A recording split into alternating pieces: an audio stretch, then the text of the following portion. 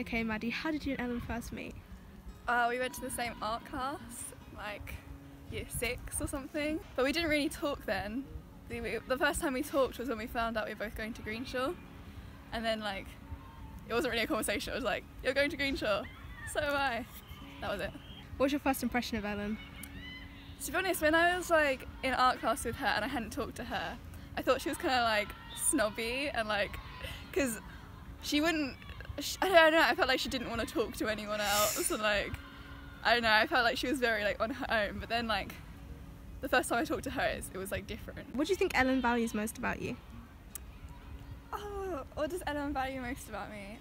Probably the fact that I'm that I'll like keep a conversation going and like I'm nice and like you know just all that like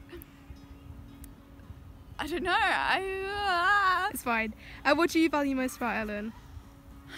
Um that's really hard it's really hard to say what I value most about Ellen because I've known her for so long but like I couldn't imagine not being friends with her so it's not like I'm like oh yeah I'm friends with her because she's funny or something it's just like I am friends with her that's just a fact like I don't know Actually, it was quite funny. Thank you. Okay, Ellen. You And can see all my roles. action. the first time you met Maddie. Oh my god. Um, we were in art class uh, on a Saturday, but then I found out that she was going to Greenshaw and that she was actually my tutor, which was like crazy. So then we sat together and talked, and when um, we got to Greenshaw, we knew each other, so that was cool. First impression of Maddie. Um, that she was quiet but cool, artistic. I don't know, a bit of an edge meister, I guess. I like her clothes. Oh, Maddie values most about me, my. I don't know, I feel like she hates everything I do. What do you value most about Maddie?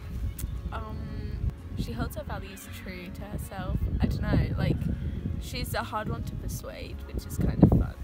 Even though sometimes she pisses me off. like how she won't gossip with me because she's like, it's not my secret to tell. That pisses me off a lot. Right, so turning into something I didn't want it to turn into. Thank you. how did you meet Eda Oh, I met Eda because um, it was year eight and our table had nowhere to sit, so it was like me and a few friends. We were kind of had fallen apart from our friendship groups in previous years. It was year nine, not year eight, sorry. And we went over to my friend Chloe because she was my friend since primary school, and we just like took refuge on their table. and then Eda was there, and we weren't close um, for a long time. And then I think when the start of GCSEs came around, we got real close. um what was your first impression of Eda Really polite. She's so polite. Never has a bad thing to say about anyone. But now I know it's not true. um, yeah, she was just very, very like polite, very to herself. Um, didn't really do a lot, but she was a babe. what do you think Eda values most about you Um, probably my humour. I can't think of anything else. Maybe my loyalty. but yeah, because I make her laugh a lot.